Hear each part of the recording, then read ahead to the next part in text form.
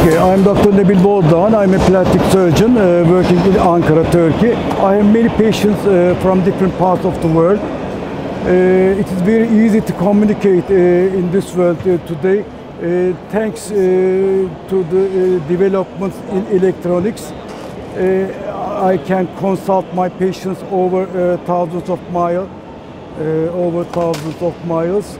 Uh, I just arrived today this morning. Uh, I'm very happy to uh, join this organization. Uh, I learned many, many things. Uh, thank you, uh. Uh, I um, operate mostly in Ankara in my private clinic. I perform mostly aesthetic operations, facial and body operations.